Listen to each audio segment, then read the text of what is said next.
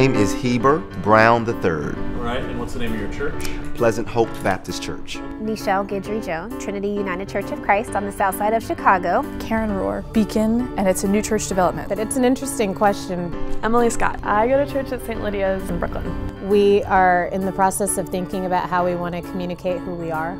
Alison Harrington, Southside Presbyterian Church in Tucson, Arizona. Concord Baptist Church of Christ. My name is Matt Smith, the table at Central United Methodist Church in Sacramento. I serve the United Church of Christ of La Mesa.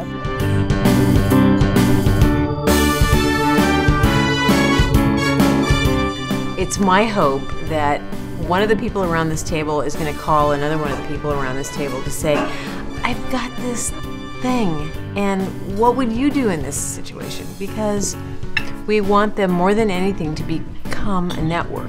That's what the Beatitude Society Fellowship is all about. That one day these people will be out there doing great things, but they won't be doing great things as solo people. They'll be doing great things because they're part of a network of people that continue to empower them to be even greater. Because you don't get to do great ministry as an isolated lone ranger. You do it as, as being part of a community. The Beatitude Society is, is just remarkable. The Beatitudes, for me, it's, it's a, they're a, it's a grand reversal of position, of principles, of values. Like Jesus had to be just like a little crazy too, right? One of the things the Beatitude Society has been doing that's really important for me is is um, just validating the work and saying like this is important and you need to keep going. And a lot of times the work doesn't kind of fit into the um, the structures that the church has set up for church planting in particular. Um, but the Beatitude Society kind of reinforces that I kind of need to keep going. So that's really huge. It was one of the very few opportunities that I've had to connect with clergy colleagues who are similar age doing similar things around the country. Before I was even going to accept the fellowship, I really asked the church, is this something that you could sign on to? And they were just thrilled. They're thrilled. They always want to figure out ways that would make my leadership more effective and in turn churn the leadership I'm so bad with metaphors sometimes. Pot? I don't know. Just turn things so that people can learn.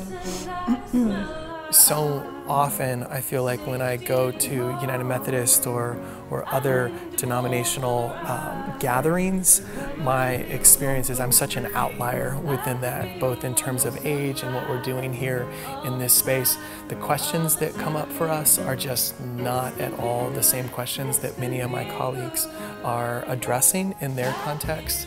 So for me, on, uh, it was a breath of fresh air Worship is never the end. So we invite people into kitchen tables. So we gather to share how it is with our soul. How are we doing good and doing harm? And instead of doing that at the church, um, we do that out in coffee houses, in homes.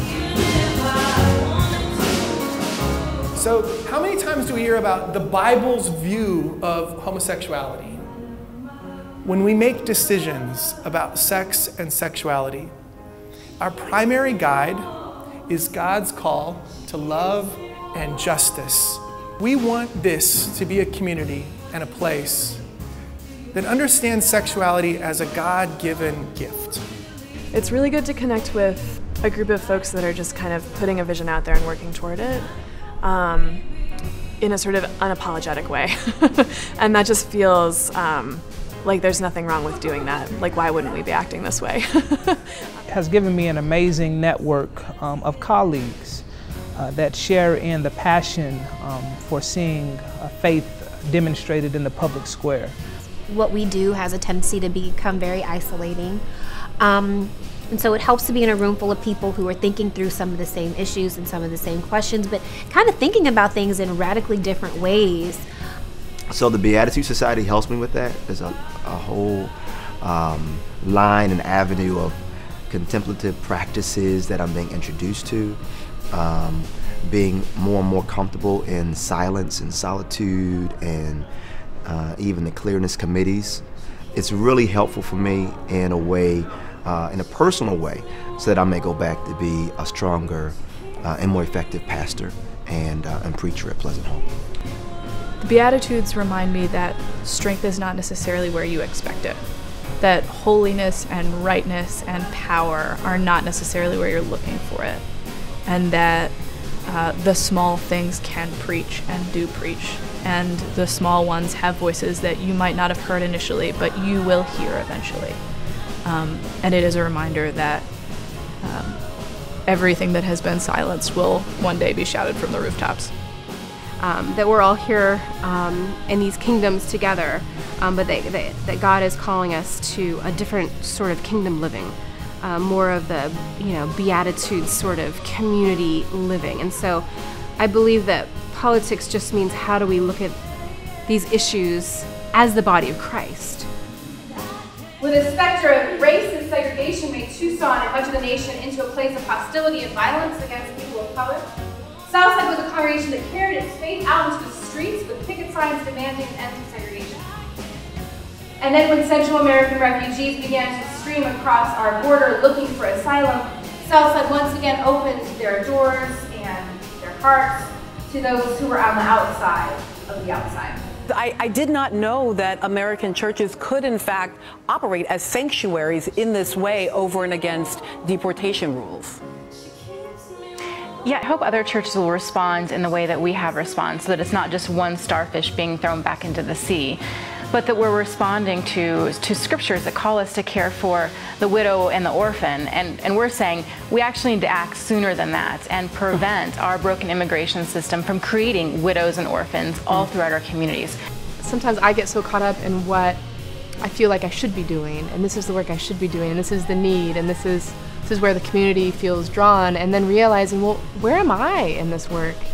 And wanting always to bring who I am to what I'm doing. And that's what the Beatitude Society is giving us this gift of like, you've, you've got something, and you've got something to say, and you have the characteristics and the qualities of really bringing about change.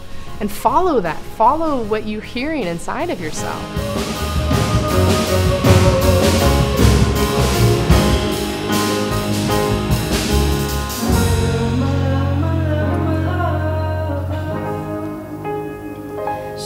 It's me.